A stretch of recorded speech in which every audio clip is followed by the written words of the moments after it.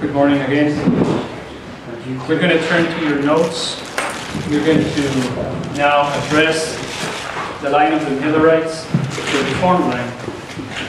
It is found in your notes in page 109.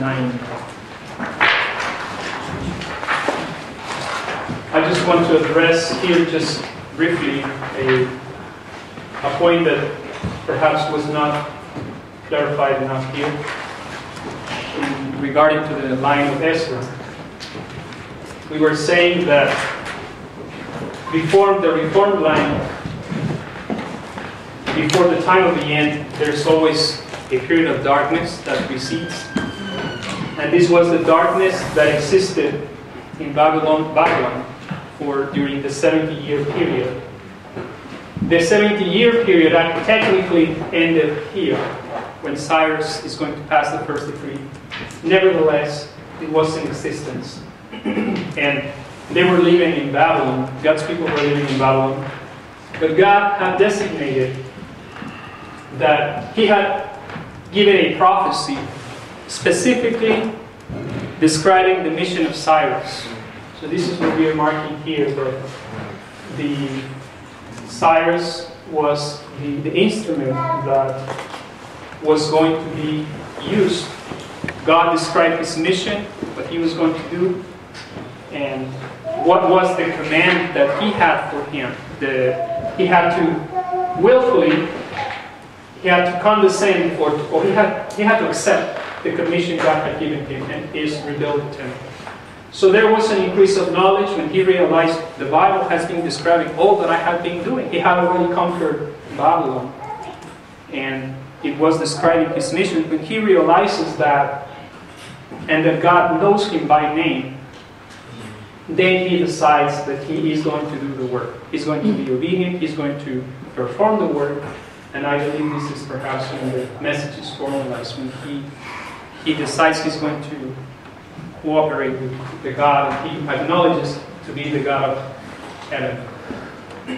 and but then that resolution even had to be empowered. The Michael had to come because Satan was really uh, trying to. Satan was trying because Satan knew that this history was necessary to be put in place so that the the starting point for the prophecy that pointed to the Messiah. He wanted to to uh, interfere in this history. So this is just the comments that I wanted to address. So now let's go to William Miller, William Miller, and or the Millerites, and page 109 of your notes. We are perhaps a little bit more familiar with this. So all of us may be familiar already with this information. It's going to be a review for us. The period of darkness, the 1260 years of papacy, which Sister White already we read the quote, she compared it with the 70 years of Babylonian captivity. Parallel history. This 70 years ended in the year 1798, which we know is the end of several time prophecies. Can you give me one example, for instance? we have the 1260 years, the time times and a half, right?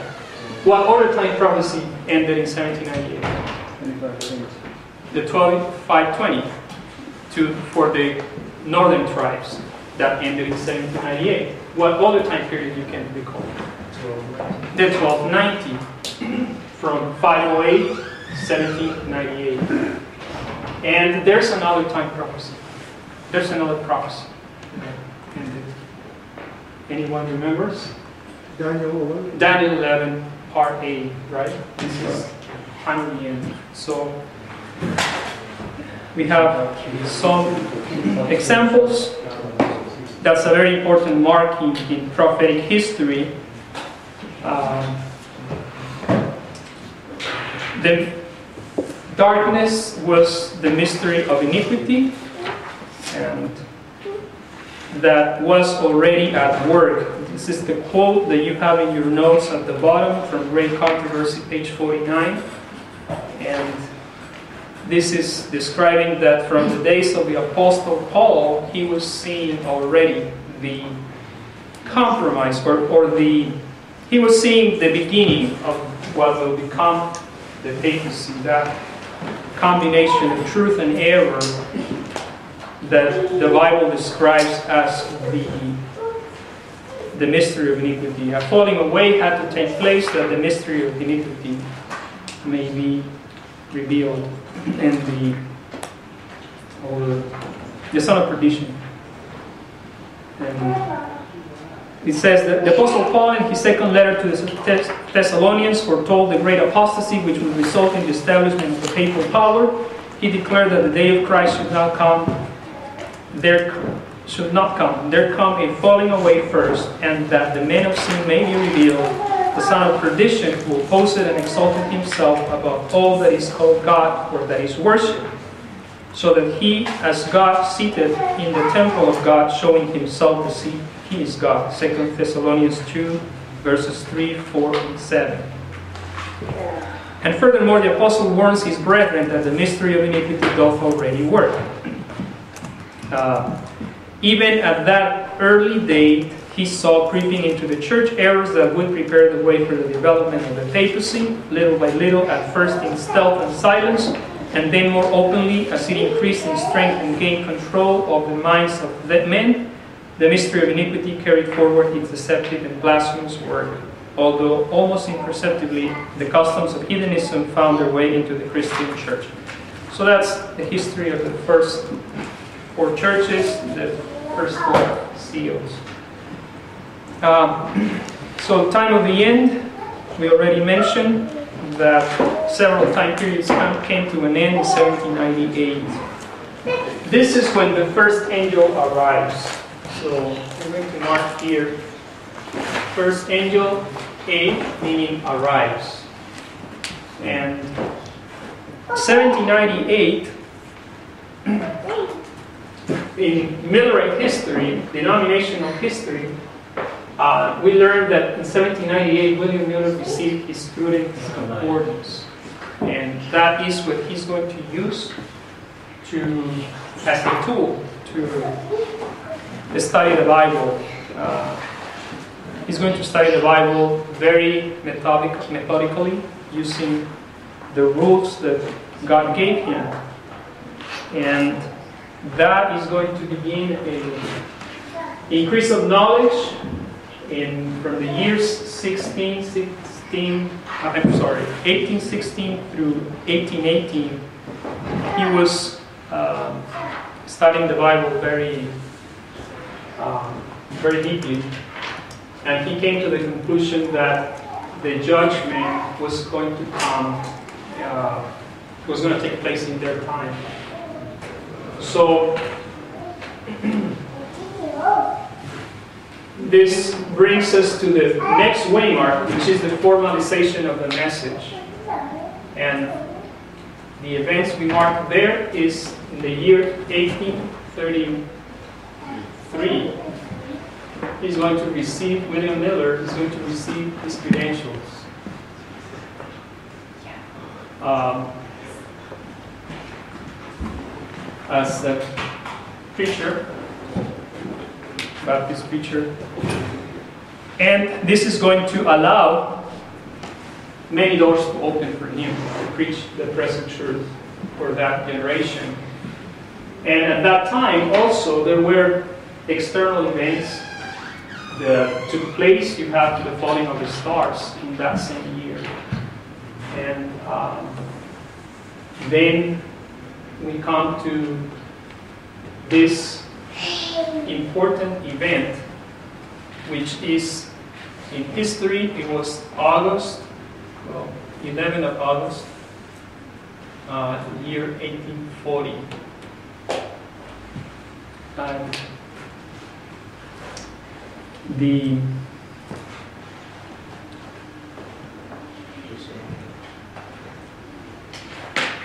the increase of knowledge, I, I need to emphasize this point before I proceed. the increase of knowledge was based on the prophecies of Daniel and uh, more specifically the, the prophecy that brought conviction to William Miller was uh, taken from Daniel 8:14, and that is uh, we're told in inspiration that was the foundation and main pillar of Millerite understanding.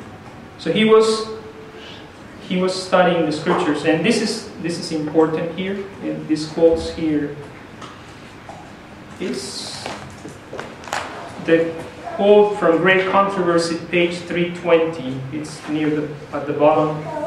Great Controversy, 320, page 110. It says, with intense interest, he studied the book of Daniel and the Revelation, employing the same principles of interpretation as in the other scriptures, and found to his great joy that the prophetic symbols could be understood. He saw that the prophecies, so far as they had been fulfilled, had been fulfilled literally. That all the various figures, metaphors, parables, similitudes, etc., were explained in their immediate connection or the terms in which they're expressed were defined in other scriptures. What this is telling us is that he realized that the prophecy was given in figures, metaphors, parables, similitudes. It was given in a symbolic language. But that symbolic language could be understood. And once these various symbols were explained, they were actually pointing to historical events that were, going to take place literally. And so he had this method of study that Sister White is describing for us here. And thus, I was satisfied, he says, that the Bible was a system of revealed truth so clearly and simply given that the wayfaring man, though a fool, need not bear the rein. Link after link of the, of the chain of truth rewarded his efforts as step by step he traced down the great lines of prophecy. Angels of heaven were guiding his mind and opening the scriptures to his understanding. I believe this quote is very relevant because it's explaining to us the way William Miller understood the prophecies. And she explains to us that they were literally fulfilled, but they were given in figurative language. That the Bible, he allowed through these rules of interpretation, he allowed the Bible to explain these various figures. And next quote, bottom of the page 110, from Early Writings 2.29. God set his angel to move upon the heart of a farmer who had not believed the Bible to let him to search the prophecies. Angels of God repeatedly visited that chosen one to guide his mind and open to his understanding prophecies which had been ever dark that had ever dark being dark to God's people, the commencement of the chain of truth was given to him. And he was led on to search for link after link until he looked with wonder and admiration upon the Word of God he saw that a perfect chain of truth, there a perfect chain of truth, that word which he had regarded as uninspired, now opened before his vision in its beauty and glory. He saw that one portion of Scripture explains another, and that one passage was close to his understanding. When one passage was close to his understanding, he found it in another part of the Word, that which explained it. He regarded the sacred Word of God with joy and with the deepest respect and awe. As he followed down the prophecies, he saw that the inhabitants of the earth were living in the closing scenes of this world's history, yet they knew it not. He looked at the churches and saw that they were corrupt, that they had taken their affections from Jesus and placed them on the world they were seeking for worldly honor instead of that honor which cometh from above, grasping for worldly riches instead of laying, of laying up the, their treasure in heaven. He could see hypocrisy, darkness, and death everywhere. His spirit was stirred within him. God called him to leave his farm as he called Elisha to leave his oxen at the field of his labor to follow Elijah. With trembling, William Miller began to unfold to the people the mysteries of the kingdom of God, carrying his hearers down through the prophecies to the second advent of Christ. With every effort, he gained strength. As John the Baptist heralded the first advent of Jesus and prepared the way for his coming, so William Miller and those who joined with him proclaimed the second advent of the Son of God. So, this is describing the work of John the Baptist in this time period, which was William Miller, and how a message was given of God to him as he behold in the one hand the coldness and hypocrisy existing in, among God's professed people in, during that time. And as he also understood from the prophecies that the end was drawing near, he was raised up as a reformer to preach the message of repentance of sin and the to put in place that system of truth. And the message was formalized, as we already mentioned, from great controversy. Here's the quote, page 30, 332. In 1833, Miller received a license to preach from the Baptist Church, on which he was a member. A large number of the ministers of his denomination also approved his work, and it was with their formal sanction that he continued his labors. So that's the formalization. He is now formally preaching the message. He's going to be in power on August 11, 1840. This is a quote from Great Controversy, page 334.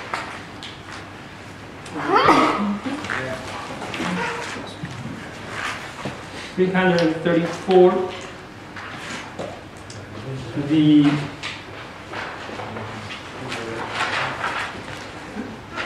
It says in the year 1840, this is at the bottom of page 111.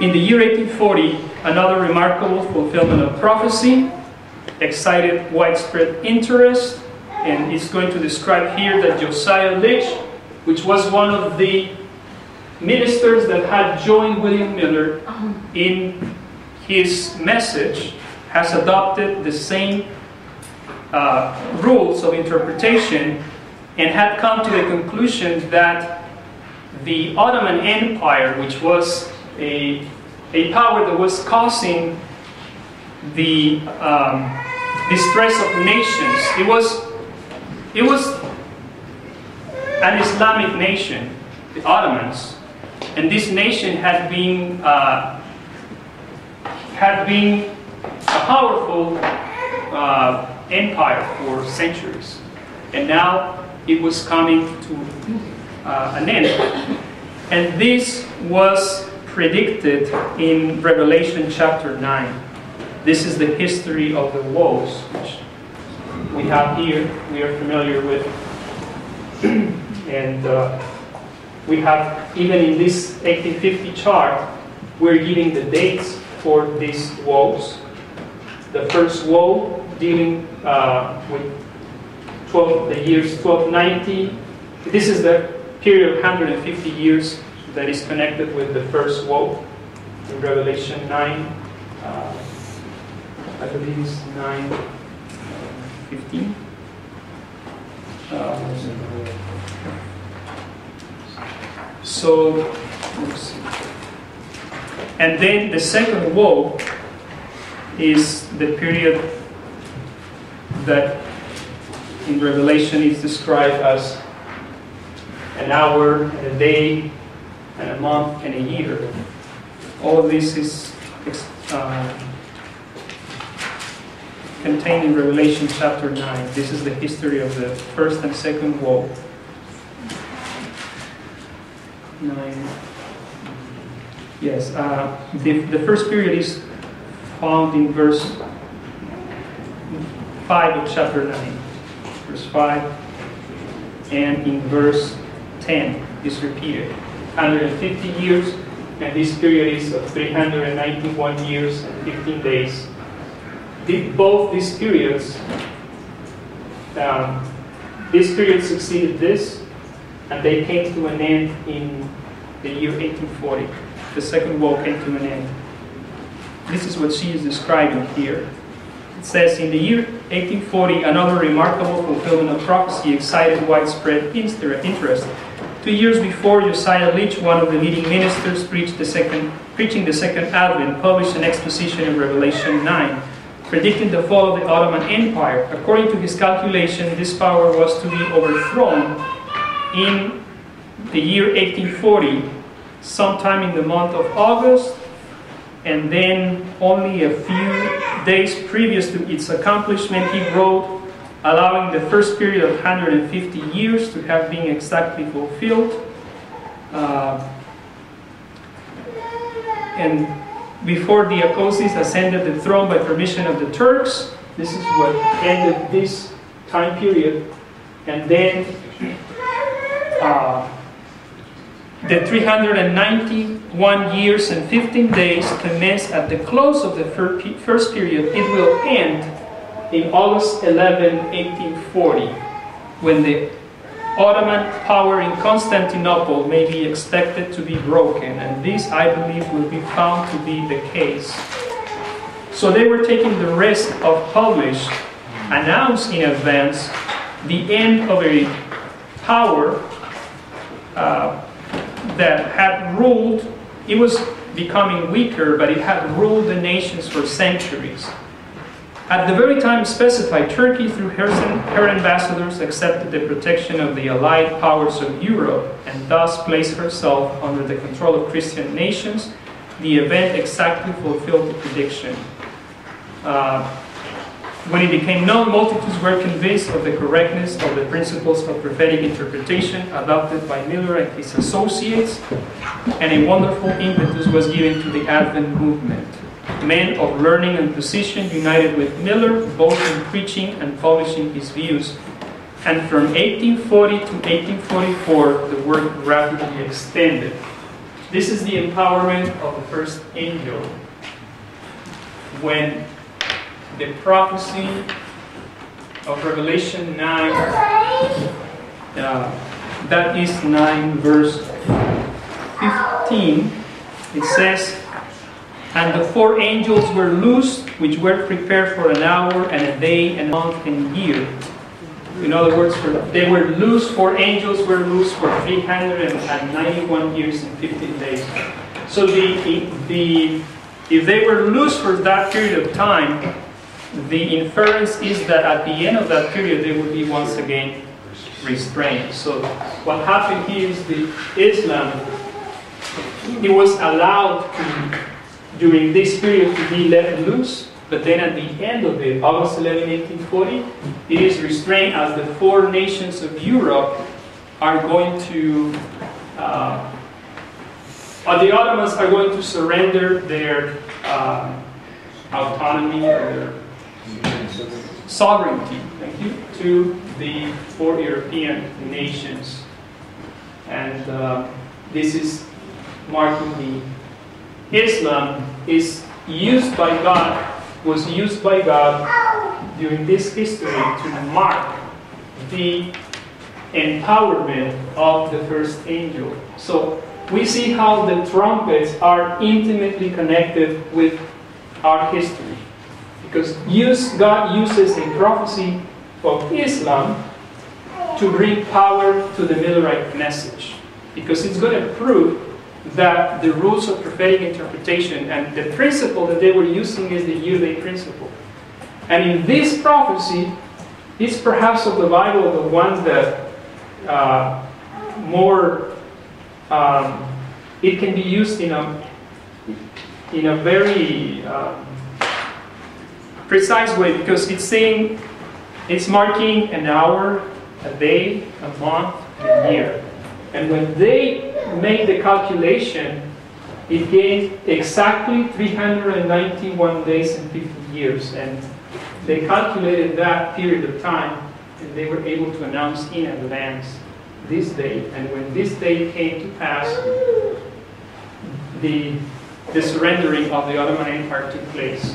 And when that became known, that happened in, when the, the news arrived by boat, and it became known, uh, many, we're told, many men of learning and position united with Miller, and a wonderful impetus was given to the Advent movement. This is when the message became sweet, because this is the angel that descends here.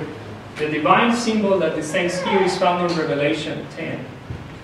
This is the angel of Revelation 10, and this is the angel that brings the little book. And in Revelation 10, it says, verse 1 And I saw another mighty angel come down from heaven, clothed with a cloud, and a rainbow was upon his head, and his face was as it were the sun, and his feet as a pillar of fire, and he had in his hand a little book open. And um, he, was, he set his right foot upon the sea, and his left foot upon the earth. And this is when the seven thunders are going to be heard. And then this is the little book that John is going to be commanded to take eat it. So this is marking a test that is going to take place in this generation. This message that has been put in place and that has been empowered, now God is going to use to test the professed people of God that during this time it was the Protestants. This was the Protestant churches. Miller himself was a Baptist preacher, and the, the Protestant churches were going to be tested whether if they truly love Christ and His truth or they rather love the Bible, the, the wine of Babylon they had been drinking for so long. And this is a worldwide message. And then uh, the foundations, we're going to jump to foundations in the page 112 of your notes. foundations are laid May 1842.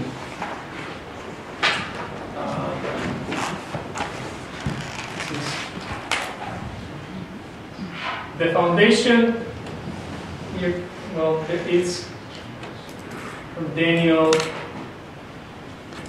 Daniel 8, 14, but foundations visually, this was this chart. It was the chart, the 1843 chart. And this is where the message, the various lines of the message were uh, expressed in a visual form that could be read. Um,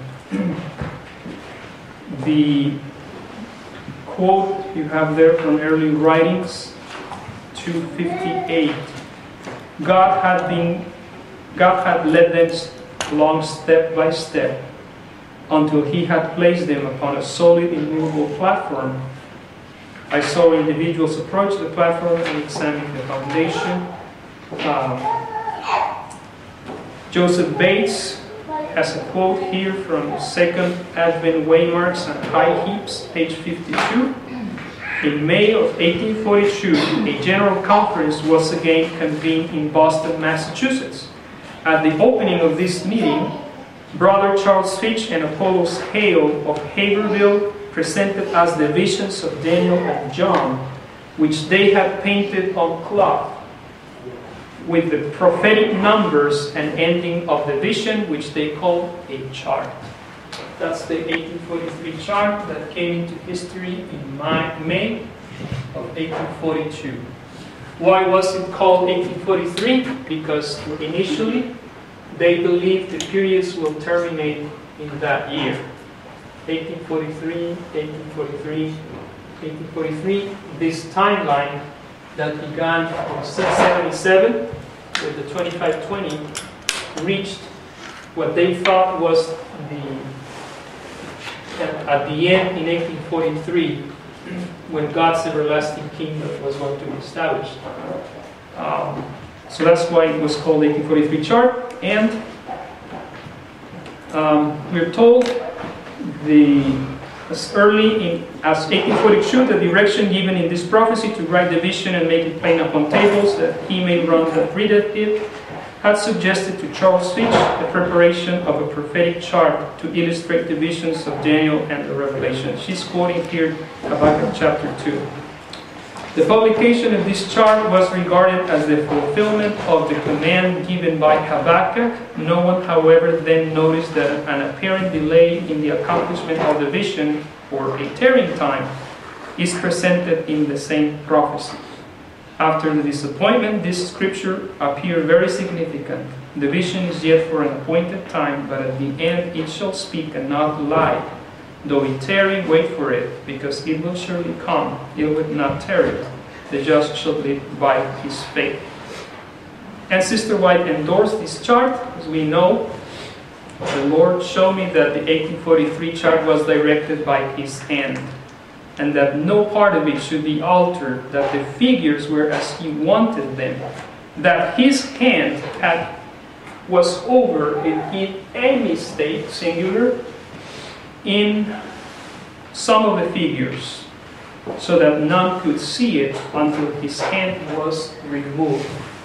And his mistake, as we know, was that the periods did not really end in 43, but they extended until 1844. Yes. So, um, the test began, we already mentioned that, and the activities of the enemies we are marking here, the enemies are going to be at work in that history in June of 1842. Within a month, of the publishment of this chart, you have already a reaction. When the churches are going to begin to close their doors, it says from Testimonies, Volume 1, page 21. In June of 1842, Mr. Miller gave his second course of lectures in Portland. And jumping, says, with few exceptions, the different denominations closed their doors of their churches against Mr. Miller.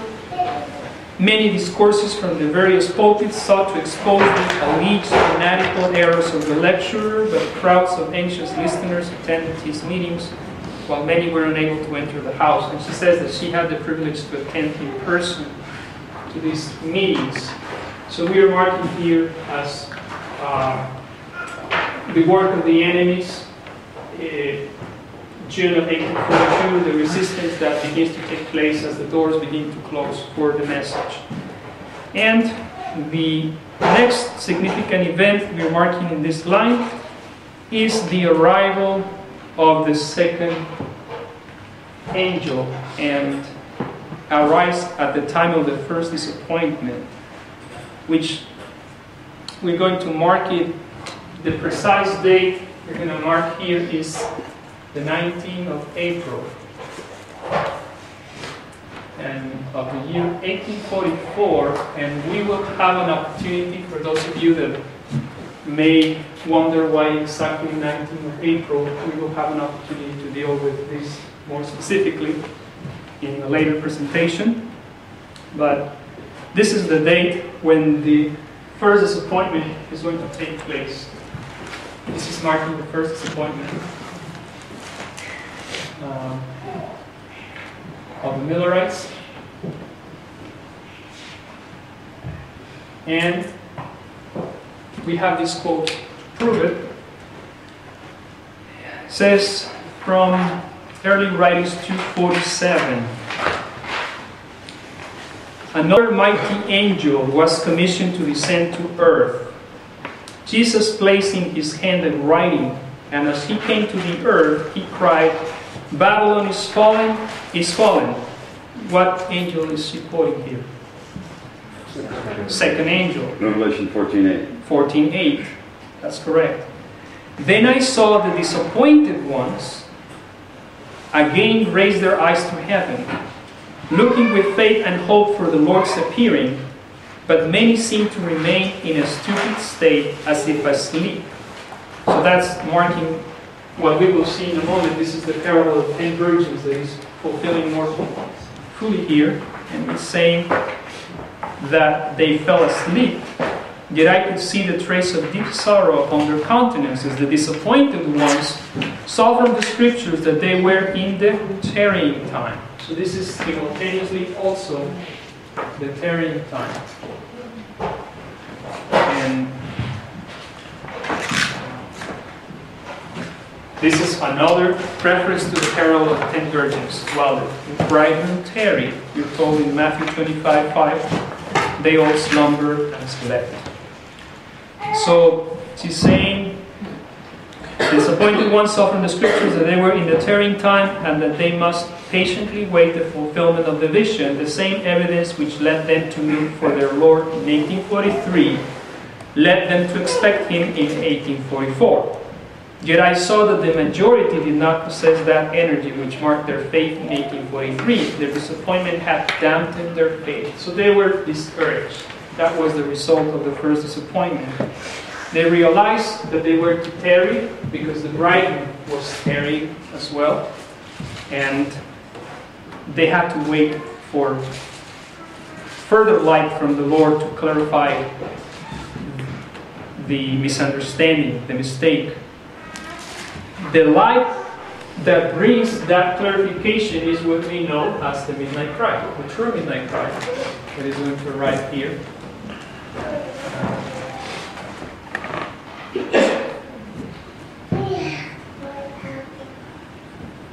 This is going to be the, the manifestation of the power of God that is taking place during this time. And the language is taken from the same parable of the ten virgins of Matthew 25. Uh, and it's we're told in early writings, page 238, near the close of the second angel's message. So this is near the close. This is we mark here the arrival of the second angel, the arrival. This is where the message is going to be in power. Second angel in power. It is saying that near the close of the second angel, after it had arrived, um, I saw a great light from heaven shining upon the people of God. The rays of this light seemed bright as the sun and I heard the voice of angels crying, Behold, the bridegroom cometh, go ye out to meet him. This was the midnight cry, which was to give power to the second angel's message. Angels were sent from heaven to arouse the discouraged saints and prepare them the, for the great work before them. In every part of the land, light was given upon the second angel's message, and the cry melted the hearts of thousands it went from city to city and from village to village until the waiting people of God were fully aroused. In many churches, the message was not permitted to be given, and a large company who had the living testimony left though these fallen churches. So there's the living testimony is being manifested during the midnight cry. That means that they are giving a true Christian testimony or witness and they have been revived. The faithful, the wise. And um, and they left the fallen churches during that time. Uh, 50,000, we're told, withdrew from the churches when they when this mighty, this mighty call was given. And she continues in the quote, a mighty work was accomplished by the midnight cry. The message was heart searching, leading the believers to seek a living experience for themselves. They knew that they could not lean upon one another. So this was an individual, an individual matter, yeah, an individual connection with the Lord. And from Great Controversy, page 402. The message, Behold, the bridegroom cometh, was not so much a matter of argument, though the scripture proof was clear and conclusive. There went with it an impelling power that moved the soul. There was no doubt, no questioning. Upon the occasion of Christ's triumphal entry into Jerusalem, she is now draw, drawing this direct connection to the triumphal entry that we mentioned yesterday. The upon the occasion of Christ's triumphal entry into Jerusalem, the people who were assembled from all parts of the land to keep the feast flocked to the Mount of Olives. She's referring to the, to the feast of Passover. Flocked to the Mount of Olives as they joined the throng that were escorting Jesus. They caught the inspiration of the hour and helped to swell the shout. Blessed is he that cometh in the name of the Lord. Matthew 21 9. In like manner, the unbelievers flock, who flock to the Adventist meetings, some from curiosity, some merely to ridicule, feel the convincing power attending the message Behold, the bridegroom cometh. So this is quoting Matthew 25 6. And at midnight, there was a cry made, Behold, the bridegroom cometh. After that wonderful experience that Sister White describes, she went through this whole process herself, and she describes this as the, the best memories she had Amen. for her whole lifetime. This was the most special. That, that was the power of the midnight cry. Those that went through it never forgot it. Never forgot that the deep solemnity that they experienced as they were searching their hearts wanting to make sure that there was nothing between them and their Lord, which they expected to see coming right here. The midnight cry was a clarification of the light that they had already been given from the beginning. Because it was simply that they came to the correct termination of this prophetic period and this prophetic period. And they came, they came, it was just a sharpening. Remember that the hand of the Lord had been over a mistake.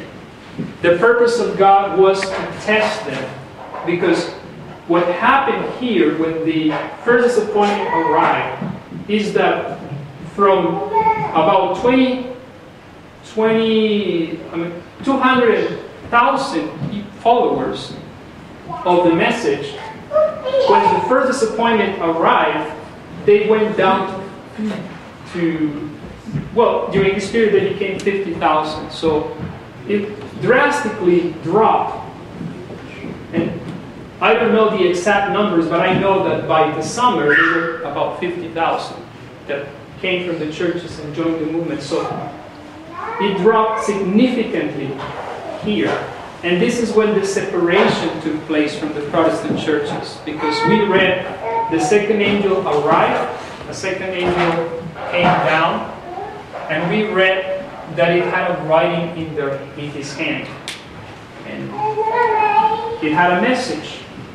And this uh, caused a separation from the Protestant churches. The Protestant churches did not want to come out and, uh, of the Babylonian darkness. They wanted to remain there, and therefore only the faithful, which were the Millerite Adventists, is what was born, this movement is where it became a peculiar and distinct movement right here. After the first disappointment, during the tarrying time, and it is at the midnight cry when they're going to receive the clarification of what went wrong with this calculation. And once they saw the, the error was corrected, they knew they, they knew not only that it will end in 1844, but actually they, they understood the, the exact date in advance. And that is October, or 22nd of October, uh, 1844. And this is what we understand now is when the third angel arrived but with the arrival of the third angel, also a disappointment arrived. And we have this quote from early writings, page 882, it says, um, All heaven watched with the deepest interest the reception of the first angel's message, but many who professed to love Jesus and who shed tears as they read the story of the cross derided the good news of his coming. Instead of receiving the message with gladness, they declared it to be a delusion. They hated those who loved his appearing and shut them out of the churches. Those who rejected the first message could not be benefited by the second. Neither were they benefited by the midnight cry, which was to prepare them to enter with Jesus by faith into the most holy place of the heavenly sanctuary. The midnight cry is what prepared us to enter here, in, in the most holy place. In our time period, the midnight cries will prepare us. What will prepare us for the Sunday law? Uh, and this, and by rejecting the two former messages, they gave, they have so darkened their understanding that they can see no light in the third angel's message, which shows the way into the most holy place. I saw that as the Jews crucified Jesus, so the nominal churches had crucified these messages. And therefore they have no knowledge of the way into the most holy, and they cannot be benefited by the intercession of Jesus there. So she's telling us that without a correct understanding of these three messages and this everlasting gospel process, we cannot enter Christ and with Christ by faith into the most holy place and be benefited by his intercession. A disappointment took place, you know that. And this disappointment had been prefigured by all the previous disappointments that we have mentioned. This was Ezra's disappointment. Uh, the disappointment of the disciples, the disappointment of the Hebrews at the Red Sea when they saw Pharaoh coming after them, and the Red Sea in front of them. And um, Five minutes. Yes, five minutes, thank you. Then this brings us to the number seven. This is a waymark that we I have not really commented on, but it is also present in all these lines. The number seven is seen here at the third waymark. And in this history, we, we could mark a few of them. One of them is the what took place on October 22nd, 1844. Sounding, sounding of the seventh The sound of the seventh trumpet took place right there. And um, also during the third angel's message, they're going to be pointed to the seventh day Sabbath in the year 1846. In this history, the number seven, in, connected with the third waymark, uh, is the uh, has to do with the seven weeks. Uh, yes, the when you connect that remember that the, the period of 2000 2300 years is broken in sections you have the you have the 70 uh, yes 17 prophecy.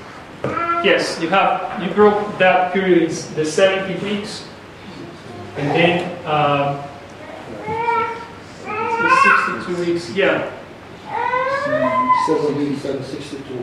seven weeks and 62. So it takes place from here. Yes, I was for some reason I was thinking of the ending point. Yes, this is the beginning. It's broken in seven weeks and then 62 weeks, and that takes you to the last week here. I was my mind was a little bit backwards at this point. Yes, this is the when the 70 weeks begin. So it's broken in 7, 62, and one week, which is this. Uh, this is half of this last week. The other half is ends when the stoning of Stephen takes place. So this is the seven weeks that is uh, marked here, or number seven. This uh, Christ is going to be resting on the tomb on the seventh day Sabbath. It's marking for us the seventh. And here, um, Passover. I don't remember right now exactly, but there is there is another. uh, Sunday's journey. I'm sorry. Sunday's journey. Yeah. Yeah, Sunday's journey to One thing I do remember, I don't remember exactly this is this, but I know that these three, 10 plagues were divided in three and seven. This could probably be the three were not.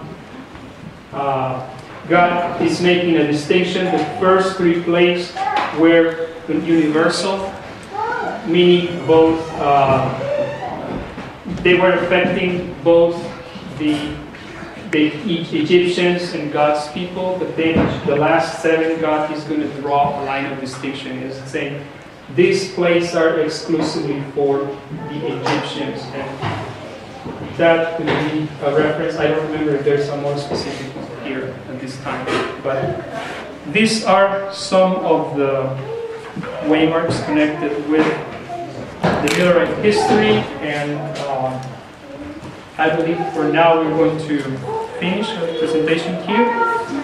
And it is my prayer that we will continue uh, gathering some lessons as we will in our next studies. We're going to take a closer look into the history of Ezra and also uh, some components that are connected with the history of the Millerites.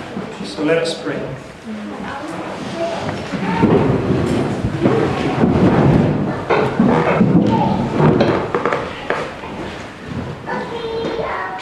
Gracious Heavenly Father, we are thankful for the way you have led this mighty movement. Adventism was born from the Millerite movement. They are our, they are our forefathers. We understand that we are to repeat their history, and we are already living in that repetition. It's our intention to understand it. It is our intention to partake of the heavenly manna, that we may understand these things with in depth, that we may be transformed by beholding them, by claiming the promises you have given us, that through this manna, through this bread of heaven, we will uh, pure, we, we will be purified, and you will give us the character that we need to possess as we surrender fully in obedience to, to your word. I pray that this will be our experience, continue to be in our midst, continue to bless us. In Jesus' name we pray. Amen. Amen.